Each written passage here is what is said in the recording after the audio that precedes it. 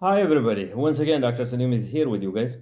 Uh, as we know, there are two plans for the scanning. Uh, we have a transverse plan or short axis and long axis or longitudinal. So the question is how we can hold the probe proper way, standard way that we will not have any mistakes or any errors in our picture or imaging. So if you are holding the probe or transducer and you want to scan transverse imaging of uh, any body part or any area, so on that case, keep in mind, put the transducer, the notch, always to the right of the patient, always. And then of course, if you want to take the image longitudinal or sagittal, so on that case or long axis, on that case, of course, the notch of the transducer has to be always to the head of the patient or 12 o'clock. I think this will help you guys. Thanks a lot and take care. Bye-bye.